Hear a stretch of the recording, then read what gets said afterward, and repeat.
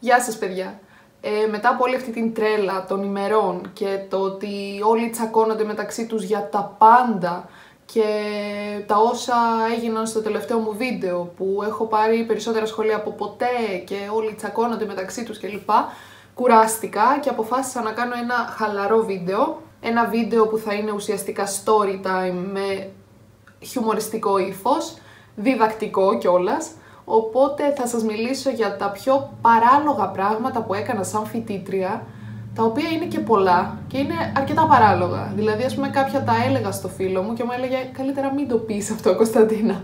Οπότε πάμε να δούμε τι ήταν το τόσο περίεργο που έκανα σαν φοιτήτρια. Να πω για αρχή τα βασικά, ότι ήρθα στην Αθήνα από την Κρήτη το 2011 νομίζω, γιατί πέρασα στο, στη δημοσιογραφία του Παντίου και έμενα μόνη μου, όχι ακριβώς μόνη μου, ενώ χωρίς τους γονείς μου, έμενα με την αδερφή μου, αλλά και η αδερφή μου φοιτήτρια ήταν, οπότε ήταν ακριβώς στην ίδια φάση. Ε, το πρώτο λοιπόν πολύ παράλογο πράγμα που έκανα είναι ότι ζούσα το βράδυ και κοιμόμουν το πρωί. Αυτό έγινε σταδιακά, δηλαδή δεν είναι ότι με το που ήρθα στην Αθήνα ξαφνικά κοιμόμουν όλη μέρα. Ξέρετε τώρα, όταν τελειώνεις τις Πανελλήνιες, σου έχει λείψει πραγματικά ο ύπνος και θες να κοιμάσαι όσο περισσότερο γίνεται, να μην χρειάζεται να ξυπνήσεις με ξυπνητήρι κάποια συγκεκριμένη ώρα. Οπότε, όπως κάθε φυσιολογικός νέος, έτσι και εγώ άρχισα να ξυπνάω πιο αργά. Το θέμα είναι ότι όταν ήρθα στην Αθήνα, ε, αυτό το πιο αργά, δηλαδή το να ξυπνάς μία και δύο το μεσημέρι, έγινε 3 και 4 και αργότερα έγινε 5 και 6 και αργότερα έγινε 7 και 8.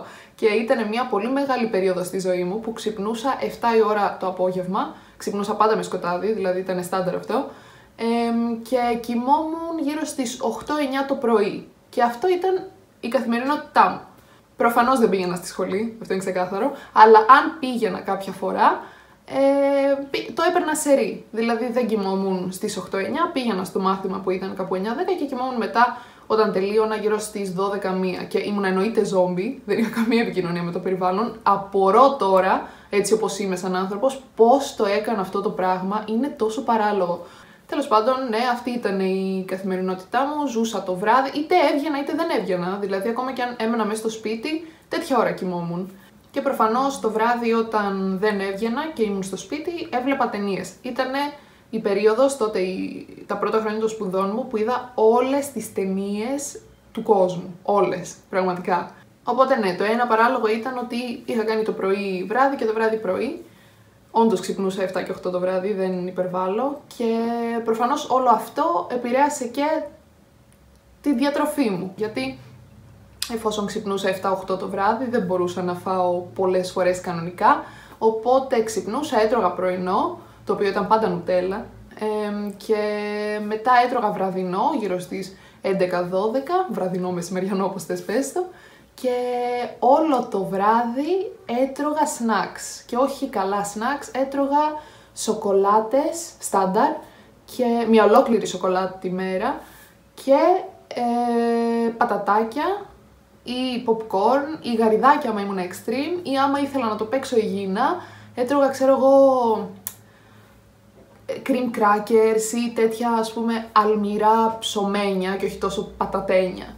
Και ξέρετε πώς είναι αυτό, άμα αρχίσεις, άμα είσαι ας πούμε μετά τις 12, δεν ξέρω βασικά αν αυτό είναι στάνταρ, αλλά για μένα ισχύει ότι αν μετά τις 12 αρχίσω να τρώω βλακιούλες μικρές γλυκό, αλμυρό. Πάει γλυκό, αλμυρό, μετά γλυκό, μετά αλμυρό, μετά γλυκό, μετά αλμυρό. Δεν έχει σταματημό και απλά κάποια στιγμή αρχίζεις και νιώθεις χάλια. Εγώ αυτό το χάλια δεν το είχα. Απλά έτρωγα ό,τι βλακεία μπορούσες να φανταστείς. Επίσης, θυμάμαι πάρα πολλές μέρες που όταν είχα γνωρίσει το Γιάννη, φεύγαμε 3-4 η ώρα από το σπίτι, τα ξημερώματα, ε, για να βρούμε κρέπες.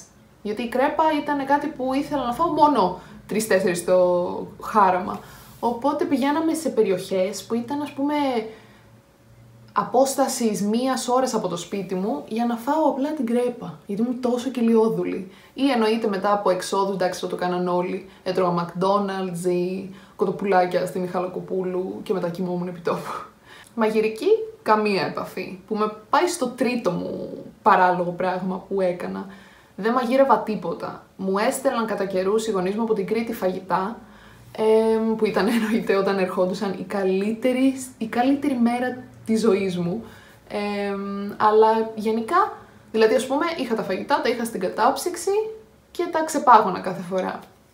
Οπότε το μόνο που μαγείρευα ουσιαστικά ήταν συνοδευτικά, ρύζι και μακαρόνια. Πέρα από αυτά, έτρωγα delivery. Πολύ delivery. Πάρα μα πάρα πολύ delivery. Και πολύ απλά πράγματα, δηλαδή παρήγγελνα θυμάμαι σαλάτες ή μακαρόνια με ντοματόσαλτσα, το οποίο το θεωρώ πάρα πολύ χαζό τώρα, γιατί είναι το πιο απλό πράγμα να φτιάξεις ακόμα και φοιτητής. Αλλά δεν είχα καμία, κανένα ενδιαφέρον να μαγειρέψω, δηλαδή θεωρούσα κιόλας ότι είναι κάτι πάρα πολύ δύσκολο. Τέλος πάντων, σιγά σιγά άρχισα να φλερτάρω με την κουζίνα και προφανώς ε, απέφευγα βασικά πράγματα όπως το κοτόπουλο και το αυγό γιατί σαν millennial είχα ακούσει ότι αυτά έχουν μικρόβια οπότε ε, δεν ήθελα να κολλήσω. Οπότε το πρώτο πράγμα που μαγείρεψα νομίζω ήταν σαρονέφρι ή μπριζόλα χοιρινή και μετά επειδή το έκανα αυτό και πέτυχε, μόνο αυτό έτρωγα. Για δύο-τρία χρόνια μαγείρευα μόνο ψαρονέφρι και χοιρινή μπριζόλα. Το τέταρτο παράλογο πράγμα που έκανα ε, είναι ότι πραγματικά δεν έπλαινα πιάτα. Δεν ξέρω ποιο ήταν το πρόβλημά μου. Νομίζω ότι απλά βαριόμουν ή μπορεί και να συχαινόμουν λίγο, αλλά ήταν πιο ιδιαστικό να τα αφήνεις. Τέλος πάντων. Ε, στην αρχή, όταν είχα έρθει, θυμάμαι ότι το θεωρούσα, επειδή δεν το είχα κάνει παλιά ε, σχεδόν ποτέ, το θεωρούσα πάρα πολύ ωραίο και πολύ ενδιαφέρον το να πλένεις πιάτα. Αλλά πολύ γρήγορα το βαρέθηκα πάρα πολύ, οπότε έφτασα σε σημείο να αφήνω όλα τα πιάτα, όλα τα σκεύη άπλυτα. Θυμάμαι ότι εκεί που ήταν ο νεροχύτης και γύρω γύρω γύρω απλά είχε άπειρα άπλυτα και με φαγητό. Όχι απλά, όχι τα ξέπλαινα και τα άφηνα, με φαγητό μέσα. Ε, και προφανώς με τον καιρό αυτά έβγαζαν μούχλες, γλίτσες και αντί να τα πλύνω τι έκανα, τα πέταγα στα σκουπίδια έχω πετάξει, δεν ξέρω κι εγώ πόσα σκεύη, καμία ε, περιβαλλοντική ή οικονομική συνείδηση, καμία. έχω πραγματικά ό,τι, ό,τι περνούσε κάποια όρια, το πέταγα. Α, και προφανώς έτρωγα πάρα πολύ από πλαστικά, πυρούνια, δηλαδή ήταν, προφανώς δεν είχα ποτέ καθαρά μαχαιροπύρουνα, οπότε αντί να πλύνω, έτρωγα από πλαστικά. Έχω αλλάξει τόσο πολύ από τότε. Τώρα όταν μαγειρεύω και χρησιμοποιώ ας πούμε ένα μπολ για να κάνω κάτι, το πλένω επί τόπου και νομίζω ότι αυτό είναι και το φυσιολογικό. Αυτό που έκανα τότε ήταν ό,τι πιο ιδιαστικό μπορώ να σκεφτώ να κάνει κάποιος άνθρωπος. Πω, πω ρε φίλε, τα σκέφτομαι και αναρωτιέμαι. Α, ή το άλλο, όταν ας πούμε είχα κάποιο κέικ π.χ. σε τάπερ και το κέικ έβγαζε μούχλα γιατί ήταν πολύ καιρό, πέταγα όλο το τάπερ. Ό,τι είχε μέσα. Δηλαδή, ας πούμε, μπορεί να έχει τίποτα μαχαίρια μέσα, όλα, όλα στα σκουπίδια. Χωρίς δεύτερη σκέψη. Ε, το πέμπτο, πέμπτο πράγμα που έκανα που ήταν όχι ακριβώς παράλογο γιατί οι περισσότεροι φοιτητές το κάνουν, είναι ότι έβγαινα συνέχεια. Ήμουνα μόνιμα έξω από το σπίτι μου. Ε, λογικό, το ξέρω, Ειδικά όταν έχεις γνωρίσει καινούργια άτομα και ειδικά για ένα άτομο το οποίο ήρθε από μια πολύ μικρή κοινωνία που είχε δύο μαγαζιά όλα και όλα και έπαιζαν συγκεκριμένα σκυλάδικα ας πούμε. Ε, ήρθα εδώ και βρήκα το φοβερό εναλλακτικό νυχτερινό κόσμο οπότε μου είχε φανεί πολύ φοβερό και έβγαινα πάρα πολύ και δεν έβγαινα και ξόδευα λεφτά και τέτοια, ούτε καν έβγαινα με το τελευταίο λεωφοριάκι των 11.30 και γύρναγα με τα πρώτα μέσα των 5.30-6 ή αν ήμουν πολύ γιόλο αργότερα. Ε, και εννοείται ε, το φαγητό μου ήταν πάντα McDonald's και Everest και έπινα δωρεάν. Όχι εντάξει πλάκα κάνω, δεν έπινα ποτέ γενικότερα πέρα από μία μπύρα ας πούμε, δεν ήμουν ποτέ του αλκοόλ, ακόμα και στα φοιτήτρια που όλοι έπιναν. Οπότε δεν ξόδευα, Οπότε θυμάμαι να λέμε με την παρέα μου, θα βγούμε, ε, ξέρεις, έχω μείνει με 2 ευρώ. Ε, δεν πειράζει. Ένα ευρώ για να φας ένα μακ και ένα ευρώ σου μένει για, για ώρα ανάγκης, ας πούμε. Ω, πραγματικά, πώς αλλάζει ο άνθρωπος, ρε φίλε, συνειδητοποιώ πώς είμαι τώρα σαν άνθρωπος και πόσο διαφορετική ήμουν τότε. Επόμενο παράλογο πράγμα που έκανα είναι ότι δεν είχα καμία επαφή με τη σχολή μου ε, πήγα την πρώτη μέρα, έκανα την εγγραφή μου, πήγα νομίζω σε κάθε μάθημα την πρώτη φορά Και όταν αρχίζεις και μαθαίνεις ότι δεν είναι υποχρεωτικό να πηγαίνεις, γεια σας. Δεν πήγαινα ποτέ, ε, στην εξεταστική πήγαινα κάποιες φορές, εννοείται είχα αφήσει και μαθήματα που δεν πήγαινα καν να δώσω. Και κάποια τα πέρναγα, κάποια δεν τα πέρναγα. Δεν θα το παίξω ότι τα πέρναγα όλα επειδή είμαι φοβερή. Είχα αρκετά μαθήματα στο τέλος που χρωστούσα. Απλά προφανώς κάποια στιγμή στο τρίτο-τέταρτο έτος σε πιάνει και λες: Ωραία, τώρα θα συγκεντρωθώ. Το θέμα είναι ότι ακόμα και όταν είχαμε εργαστήρια στο τρίτο και τέταρτο έτος, πάλι δεν πήγαινα. είχα μείνει σε εργαστήριο κιόλας από απουσίες. Ε, και σε αυτά που δεν είχα μείνει, δεν είχα μείνει γιατί κάθε φορά κατάφερνα και έβρισκα, έστελνα σε κάποιον που ήταν εκεί να μου βάλει παρουσία και κάπως έτσι κατάφερα και τα πέρασα. Καμία επαφή πραγματικά, δηλαδή δεν, δεν διάβαζα τα βιβλία, Τώρα διαβάζω πολλά πανεπιστημιακά συγγράμματα και σκέφτομαι ότι καλά ήμουν χαζή. Αν είχα κάτσει να διαβάσω τότε, θα ήταν το κεφάλι μου πολύ πιο σωστό και λογικό. Ε, θυμάμαι δηλαδή σε περιόδους εξεταστικής που έλεγα ότι ωραία τώρα θα κάτσω να διαβάσω, ε, έκανα το κλασικό που ξυπνούσα, έφτιανα το πρωινό μου, πήγαινα και τακτοποιούσα το γραφείο, μου τα όλα, έβρισκα την ύλη, τη σημείωνα στο βιβλίο και έλεγα ωραία τώρα θα κάτσω να διαβάσω, διάβαζα μία σιρούλα και έλεγα βαρέθηκα. Οπότε και κανόνιζα κατευθείαν να βγω γιατί ένιωθα ότι μου αξίζει μία έξοδος γιατί σήμερα διάβασα. Αυτό το άτομο ήμουνα. Το επόμενο και σχετικό παράλογο πράγμα που έκανα είναι ότι τις εργασίες που έπρεπε να κάνω κάποια φορά, δηλαδή κάποιες που ήταν υποχρεωτικές, τις έκανα το προηγούμενο βράδυ, ε, κυριολεκτικά τελευταία στιγμή και όταν σου λένε ας πούμε ότι ε, μας είχαν πει ότι έχουν κάποιο αυτόματο τρόπο να βλέπουν άμα τα έχεις πάρει από το Wikipedia, εμείς οι πανέξυπνοι τι κάναμε, βρίσκαμε άλλες σελίδες, όχι το Wikipedia και αντιγράφαμε τα πάντα. Θεέ μου, θα πρέπει να ντρέπομαι που τα λέω αυτά, αλλά τέλος πάντων. Επόμενο παράλογο που έκανα είναι περισσότερο ένα μεμονωμένο περιστατικό. Ε, μία φορά λοιπόν που ήμουν μόνη στο σπίτι, καλοκαίρι κιόλας ήταν και η αδερφή μου ήταν, νομίζω, σινεμά. Ναι, σινεμά.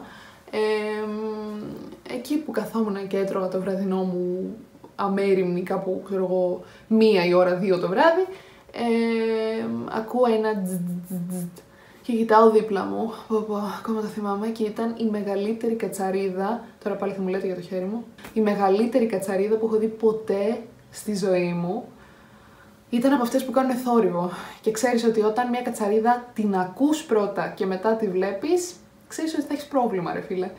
Και ε, εκεί που τη βλέπω, ξαφνικά εξαφανίζεται και βλέπω ότι είναι απέναντι. Έχει, δηλαδή, ήταν από αυτές που πηδάνε, πετάνε, δεν ξέρω τι κάνουν ήταν τόσο μεγάλη κατσαρίδα που πέταξε από την κουζίνα και την είδα να, να πηγαίνει και να στρίβει κιόλας και να μπαίνει στο υπνοδωμάτιό μου. Ο Χριστός και Παναγία. Και εγώ λοιπόν, σαν όρημη γυναίκα, έβαλα τα κλάματα, είχα σηκωθεί, θυμάμαι, στο πόδι του καναπέ, στην άκρη, άκρη, άκρη του σπιτιού και έκλεγα. Σκεφτόμουν όντως, δηλαδή το θυμάμαι ακόμα ότι σκεφτόμουν να πάω να φύγω από το μπαλκόνι, το οποίο ήταν στον τέταρτο όροφο. Πάλι καλά που δεν το έκανα.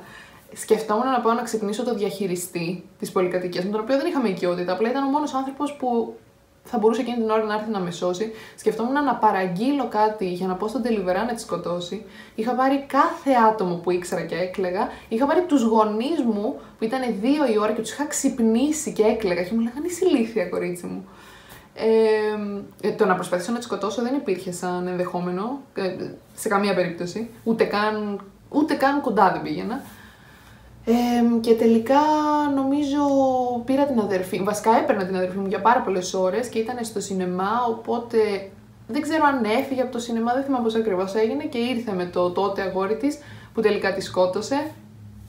Αλλά Χριστέ μου, αυτό το πράγμα μου είχε αφήσει τέτοιο τραύμα και αναρωτιέμαι πώς σκοτώνουν τις κατσαρίδες άτομα που μένουν μόνα τους.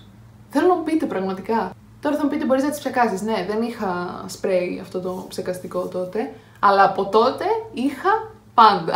Και το άλλο παράλογο πράγμα που έκανα ήταν ότι όλη την, όλα τα χρόνια των σπουδών μου στην τηλεόραση στο σπίτι έπαιζε μόνο Nickelodeon.